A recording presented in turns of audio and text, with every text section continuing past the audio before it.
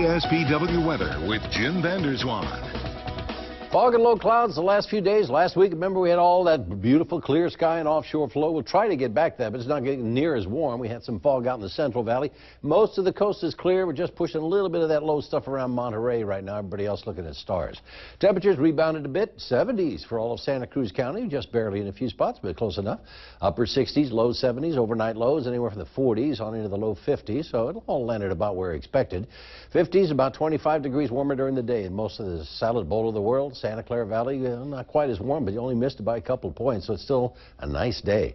That low cloudiness kept the Central Valley much cooler, upper 50s, low 60s there. You ended up with 60s and 70s in Southern California, 80s out in the deserts, all the way to about Phoenix, 79 there, 70 in Dallas, and then about half that warm. Boy, it is still another cold day here, and it's just relentless, and it's not over with yet. Temperatures right now well below freezing, almost freezing in Atlanta, Georgia, and having a lot of problems. It's going to be one expensive winter. Already snow is moving to the Great Lakes right now. This is really nasty stuff, freezing rain. That's the stuff that's right in between that border the really cold air and then uh, the warmer air. So that's going to be, of course, all it does is freeze at night, and they got big problems. This massive moisture is going to move all the way into the Ohio, Tennessee Valley, all the way up to the New England states over the course of the next two days. Right behind it, very strong pressure gradients, meaning a lot of wind and another good shot of really cold air to make sure that snow doesn't go anywhere. Travel is going to be hampered on the East Coast. They've got uh, some cells working into the west as well. Excuse me, getting close to us. Nothing from this far west, though, or even the southwest. It's actually a very weak impulse that's going to be diving down forming a new low right over California, but we're on the backside of that low, so that doesn't usually bring us much in the way of precip. Here you can see the trough forming could bring some showers into the Sierra Nevada on Sunday. Close, maybe around the mountains of San Benito and South Monterey County could be a few sprinkles. Not likely to get over the valleys, but there's always that slight chance. 10 or 20 percent, and then the whole thing's gone. It's not going to be a significant event as far as the rain that we would really would like to have. Maybe still next weekend, but even that's borderline. Clouds and rain could be in the mix there. Microcast picking up on a little bit of moisture. The heavier stuff's going to be out in the Central Valley and up in the Sierra Nevada.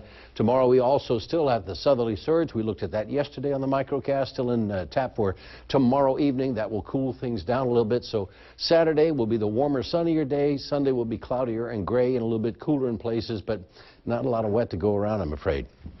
Temperatures still in the 60s with a few leftover 70s. Overnight lows still hanging on to 40s, but it won't be long before we start seeing some 30s once uh, that cold air with that upper low comes through. So uh, we're not looking at a lot of frost or anything like what you're seeing in Boston, but definitely a little bit of a change for us. Just a reminder that winter is not quite finished with us yet. And nice numbers for Santa Cruz County. Plenty of sunshine after a little patchy fog in the morning and then fog coming in later in the night as well, because Santa Cruz will always get that southerly surge smack in the face just about dinner time. Mostly sunny then. We'll put that uh, stratus along the coast, and then we'll add more clouds overnight. That gets you a cloudy day on Sunday with a slight chance, maybe 10, 15 percent, mostly south of about Soledad, and typically over the hills. You don't get a lot over the valleys, but you never know. You might get lucky and see a raindrop just so you can see what it looks like. We haven't seen a lot of those. Yeah. They're really kind of cute.